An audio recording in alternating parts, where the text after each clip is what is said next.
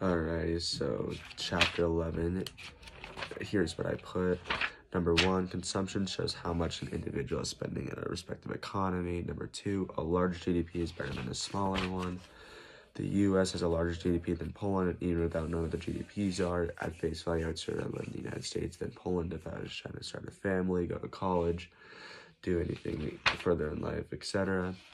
Number three, I put no because it isn't being brought back to the central part of the economy as if it isn't a service or good or etc.